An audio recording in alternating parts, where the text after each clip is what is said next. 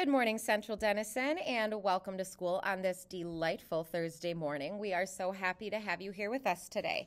Today is Thursday, April 4th. Today for lunch, I like to call it our like summer picnic lunch. It kind of reminds me of summer picnics at my grandmother's house when I was your age.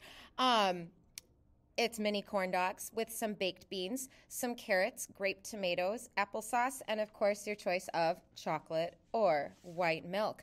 Um, we do have a birthday today. Edward in kindergarten. We hope you have an absolutely wonderful day. All right, let's have a little chit chat about what recess is going to look like today.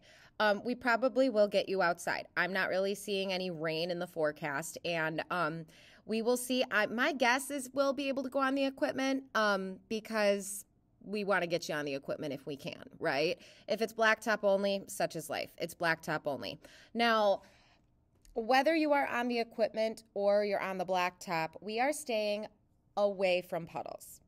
No discussion about it, okay? Even if you have boots, we should not be splashing around in the puddles because we do not want the rest of you getting all wet and soggy and gross. Okay.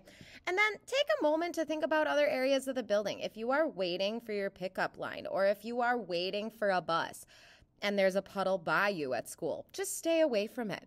There is absolutely no reason that you need to be going anywhere near a puddle. Splash at home all you want, roll in the puddle. I don't care what you do at home, okay?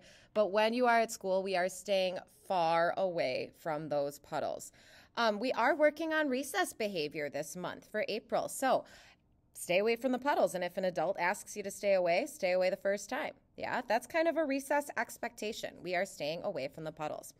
Um, we will let you know about equipment and things like that when it comes to recess, but for now, uh, just kind of wait for that announcement. All righty, let's do our affirmations. Have a wonderful day, everybody. Let's do our affirmations. I can be kind to myself and others. I can be safe. I can be ready to learn. Let's stand for the Pledge of Allegiance. I pledge allegiance to the flag of the United States of America and to the Republic for which it stands, one nation, under God, indivisible, with liberty and justice for all. Oh,